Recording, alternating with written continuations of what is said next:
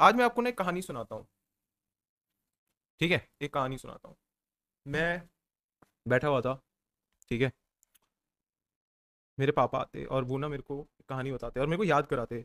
Bangkok में ना एक सरदार जी रहते हैं। And he is a very successful he is a very successful businessman very successful businessman. But the and he is also very known. But he's not known because of how successful he is as a businessman. What he is known for is कि वो हर रोज drive पे निकलते हैं सरदार जी।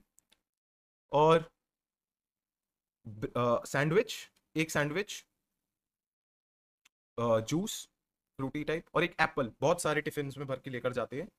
और देखते हैं कि किसको इसकी नीड है बैंकॉक में। और उनको दे देते हैं। है ना? हमेशा। ऑफ़िस के बाद रात में जाके और फिर घर आते हैं।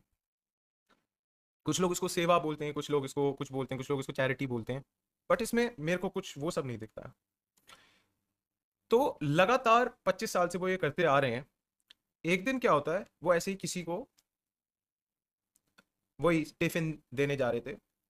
तो एक बंदा वहाँ पे ना रेडी लगा के बैठा होता है बैंकॉक में क्या होता है, जब वो रेडी लगाते हैं, उसमें नूडल्स वूडल्स बिकते हैं एवरीथिंग एक वो रेडी वाले ने उस अंकल को रोका और बोला, एक मिनट रुको। और उसने एक टिफ़िन बॉक्स निकाला और उन अंकल को दिया और बोला, सरदार जी को, कि आपको नहीं पता, आपने मेरी कितनी हेल्प करी है, कि आपके लिए। अंकल बहुत खुश हो जाते हैं। अंकल बहुत ज़्यादा खुश हो जाते हैं उधर स्वादी खाओ स्वादी खाओ। कहते हैं और गाड़ी में जाते हैं और उनको रोना आ जाता है सरदार जी को, कि वाह कि क्या ज़िंदगी कितनी गोल है। तो वो अपनी वाइफ को कॉल करते हैं, बोलते स्वादी खाओ। हेलो नहीं बोलते वहाँ पे बैंकॉक पे तो स्वादी खाओ। कहते हैं, आज खाना मत बनाना।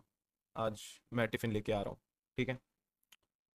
तो शादी का तो वो घर में घुसते हैं कि बीवी ने डिनर नहीं बनाया होता है उनकी दो डॉटर्स होती हैं, वो भी नीचे आ जाती हैं, वो टेबल पे सारे बैठे हुए होते हैं और वो एकदम से ना, वो खोलते हैं, टिफ़िन खोलते हैं और सारे लोग भूखे हैं और वो देखते हैं, उसमें से निकलता है एक सैंडविच एक एप्पल और एक जूस पापा मेरे से बोलते हैं, अर्पित तो तुम इससे क्या सीखे?